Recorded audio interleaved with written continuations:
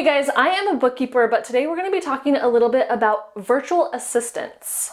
A virtual assistant is another type of job that is kind of similar or parallel to a bookkeeper. So I'm going to go through what each of those jobs look like and kind of the pros and cons to each. If you're a bookkeeper, would you want to be a virtual assistant? Or if you are a VA, do you want to add bookkeeping services? That kind of thing. So here are my five sections. So first of all, what tasks do they each do? What skills do you need for each one? The pros and cons of each job, how to choose between the two, and then where to start if you want to be a bookkeeper or a VA. So starting out with what tasks are needed for each job. So I'm gonna start with a virtual assistant. Throughout the video, I'm going to be using the acronym VA because that is a common way to refer to virtual assistants. So the basis of the job title is it's basically like an assistant job but the person can work virtually. So they can work from anywhere, they could be in another state. You're utilizing like online platforms for them to do their job. So if you're a business owner and you hire a VA, maybe they are doing email correspondence for you. Maybe they're following up with your customer service. They can manage your calendar, schedule appointments. They can book your travel. So any of these little tasks that you are able to outsource to another person, that can be a VA. And because of that, the job description is more broad. It can include a lot more things and it can be really different from VA to VA. So that is gonna be kind of like a theme throughout this video. Okay, and then what does a bookkeeper do? I'm gonna go through this quickly because if you watch my channel, you probably already know what a bookkeeper does. I will link a longer video all about this if you want to dig into that more. So a bookkeeper is in charge of helping out with finances for a small business owner. I work in QuickBooks, and so all of my clients' transactions feed from the bank into QuickBooks, then I categorize them into different categories for the purpose of getting ready for taxes. And then bookkeepers can also do invoicing, they can pay bills, they can make bank deposits, they reconcile the bank at the end of the month to make sure everything is matching and correct. Then I pull financial reports and I send them to my client. And I am also virtual, I can work anywhere, but my job consists of finance. Next section is what skills do you need for each? So there is some overlap in the skills in particular. That's why I'm talking about these in conjunction because a person in the same life circumstance might be, you know, doing each of these jobs. So the similarities is that you are your own business usually. You are working for multiple like small business owner clients. You can work remotely. There's very little overhead because all you need is a computer and you can do your job. You need to be organized with good time management skills good workflow organization. You need to be able to meet deadlines and you need to be pretty good at communication because you are communicating with clients.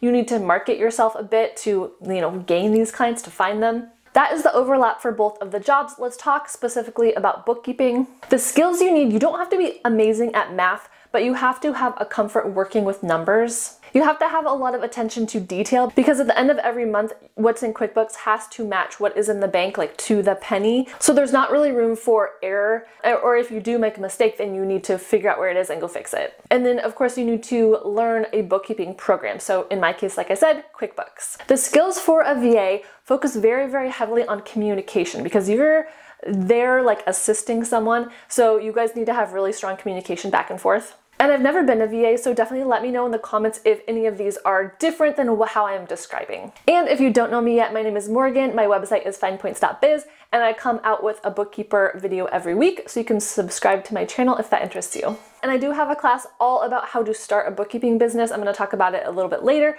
It's pretty affordable. And if you're more interested in the VA stuff, then I'm going to point you to Abby Ashley. I will have a link for her program in the description that teaches you how to be a virtual assistant. Now I'm gonna go over the pros and cons of being each of these jobs.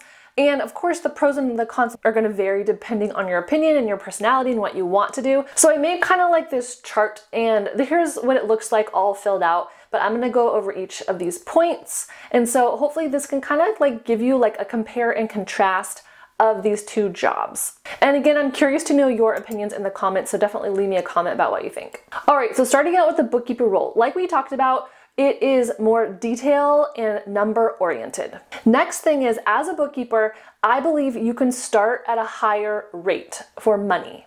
Okay, what am I trying to say? Your hourly rate starts out higher, and that's because you're more specialized. So you can almost think of a bookkeeper as like a very specialized virtual assistant. So VAs can specialize in a bunch of different things, and I'm gonna go over that in a second. But if you're a marketing VA and you know one program really well, maybe that's a really specific niche and you can charge more for that. But as a bookkeeper, you already have this built-in niche. You you know QuickBooks, and there's kind of an industry standard on how much to pay, bookkeepers. So I recommend to bookkeepers starting out charge $40 an hour. You can go up to like $70, $80 an hour, and that is per hour. And as a more experienced bookkeeper, you're gonna wanna start charging a flat rate, so a fixed rate. So charge your client $500 every single month, and then that is the value that they are paying to have their bookkeeping done. And if you can work a little bit faster, then you're gonna have a higher hourly rate. The time it takes you might change a little bit, but overall, in my opinion, you're gonna be making a higher income starting out as a bookkeeper compared to a VA. Next pro for a bookkeeper is it is a needed occupation and I think there is a lot of job stability. So if I get a bookkeeping client and they hire me, that person is most likely going to stick with me for years and years. In my experience, the first thing that business owners outsource is their bookkeeping. So before they, you know, get an office assistant or get someone to write their website or all these other tasks, they know that they're going to have to pay taxes and everyone has to pay taxes. So they want to have an organized system for their bookkeeping. And if you're worried about the advances in AI recently and if that's going to take over these industries, um, I have a video all about that. It is called Is It a Good Time to Start a Bookkeeping Business? And I think it also has AI in the title if you want to search that. In my opinion, bookkeeping isn't going away, it is changing definitely, but people still want humans to help them out. Like, I don't think business owners in the next 10 years are going to shoulder all that financial work by themselves with the help of AI. And then a couple cons to being a bookkeeper there might be a technical learning curve. So you are learning QuickBooks, it's going to take a little time to figure that out. Whereas if you are maybe doing simpler tasks as a VA, you're scheduling appointments, you're running someone's calendar, maybe you already know how to do that and isolation. So I think as a bookkeeper, you work alone more. Uh, you're more independent. You might get lonely. There's less like human interaction. For me, this does not bother me. I actually like it because I'm able to save up my introvert energy and then I can, you know, be friendly with people outside of when I'm working, but definitely think through that as you are choosing between these two jobs. All right, then let's go over to the virtual assistant column. So first thing I put was versatility. So instead of being so specialized as a bookkeeper, there is a variety of tasks that you might be doing.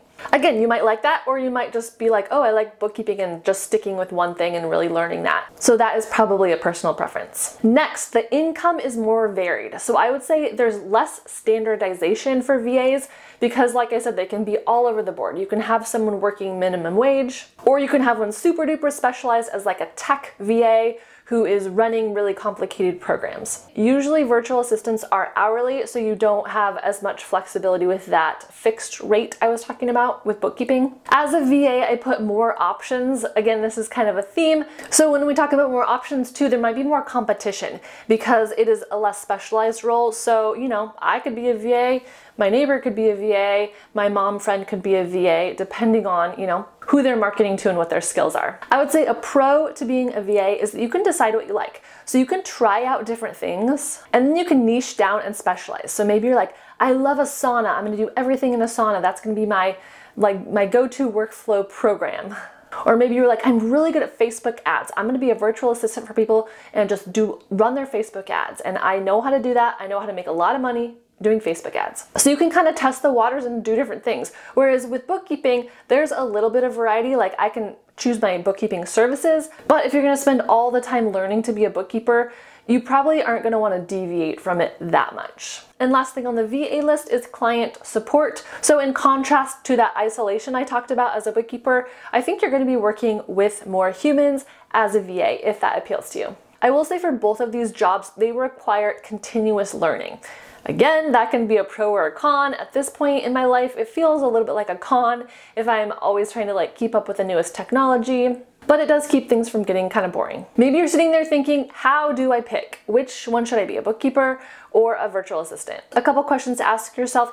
Which one aligns more with like your interests and your passions? Which skill set is more interesting to you or do you already have a skill set in something? Maybe you already know a little bit bit of QuickBooks and that's going to help you be a bookkeeper. How important is that stable income to you? Like do you have kind of like a safety net and you're just trying to make a little bit extra money or is it really important that you have a steady income every month? And then maybe what are some of your goals for the next 5 years? Do you have like are you using this as a jumping off point to somewhere else? So how to choose for the bookkeeper I summarized it as do you like more repetitive tasks? Do you like numbers and analytics? And do you like working mostly alone? And then for a VA, do you like the customer support side of things, helping people out? Do you like that variety? And do you want like a little more person interaction during your day? And I promised I would point you in the direction of where to start. So again, I'm going to have Abby linked in the description box. She has a whole YouTube channel also that you can learn a lot more about being a VA. And if you heard about her from me, definitely use my link if you want to purchase her course because that gives me credit for it, which helps out my channel. If you're leaning the more bookkeeper route, I have a free masterclass that's called Is Bookkeeping Right for You? Um, I'm to leave that in my description box linked as well. And then you're going to find tons of stuff about bookkeeping on my channel. So I have that free masterclass and then I have a checklist about how to start your bookkeeping business. And I think I already mentioned my course that goes over in a month how to start your bookkeeping business. So I hope you found this helpful. Give me a comment about what other videos you'd like to see, and I will talk to you again next week. Take care.